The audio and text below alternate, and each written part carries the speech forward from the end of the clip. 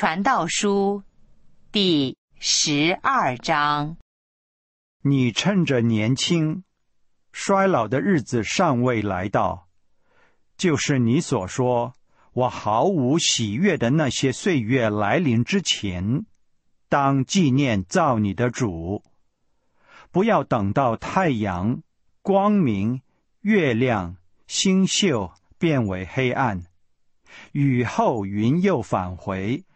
看守房屋的发颤，强壮的屈身，推磨的妇女因人少而停工，从窗户往外看的眼光变为昏暗。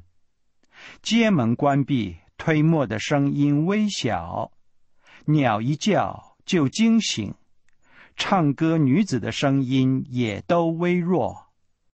人怕高处，路上有惊慌。杏树开花，蚱蜢成为重担，欲望不再挑起，因为人归他永远的家，吊丧的在街上往来。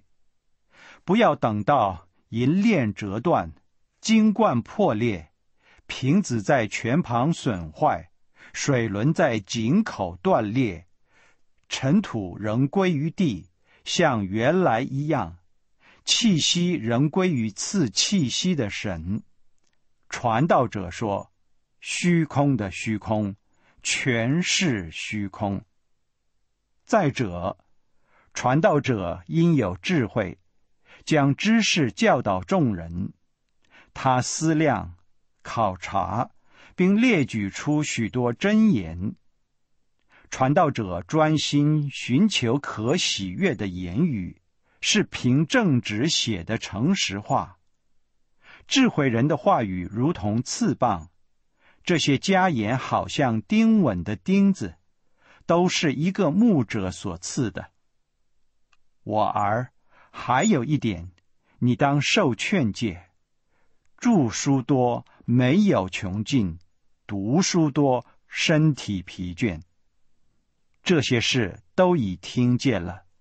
结论就是，敬畏神，谨守他的诫命，这是人当尽的本分。因为人所做的事，连一切隐藏的事，无论是善是恶，神都必审问。